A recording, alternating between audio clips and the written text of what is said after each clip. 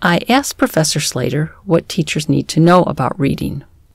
She emphasized the connection between reading, writing, and speaking, the importance of students' background knowledge, and also some things to think about in selecting texts. Let's listen.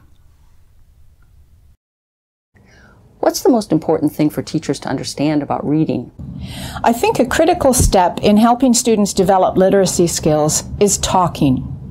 Just as children learn about their worlds by touching and talking long before they begin reading, students need to talk about what they will be reading about.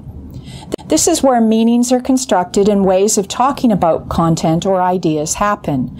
Most contemporary English textbooks incorporate this idea by starting a unit or chapter with a few questions that aim to get students thinking and perhaps talking about what they already know about the topic they will soon read about. Without triggering background knowledge and introducing some of the vocabulary and ensuring that it becomes familiar to the students, reading becomes difficult or simply a process of decoding without meaning.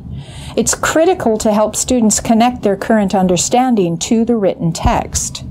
In the initial stages, students can be offered simplified text. We certainly do that with young native speakers who lack the content knowledge or experience to understand an authentic text. I mean, young children in kindergarten will not be reading a treatise on nuclear science. But if students are familiar with the topic and have the knowledge necessary, offering an authentic text can be very useful and motivating because as these students work to hone their literacy skills, they recognize that the written text is representing their world knowledge. In other words, they begin to realize that what they are decoding has meaning and interest for them. And this brings me to another key concept in teaching literacy. Encourage students to read whatever is interesting to them and to write something about what they read. The practice of journaling or writing your own thoughts about what you read is a great way to practice literacy skills. Professor Slater emphasized that there is an important connection between reading, writing, and speaking. Let's take a look at how that connection works. When a student reads something, they're thinking about it, they're processing it, and it actually helps them to understand and remember it if they talk about it with somebody.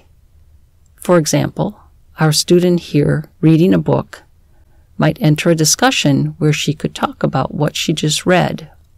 She might say, I just read about that, but I disagree with what the author said.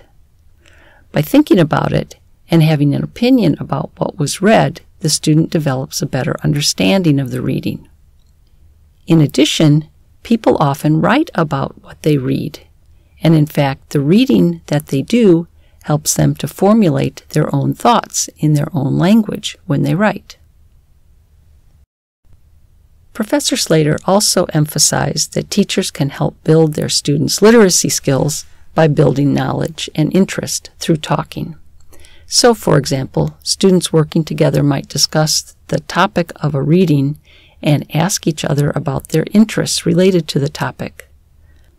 This way, students' interest becomes activated about the topic of the reading before they even start to read, and this helps with comprehension. Professor Slater also indicated that teachers should help to trigger background knowledge and to introduce vocabulary before students read.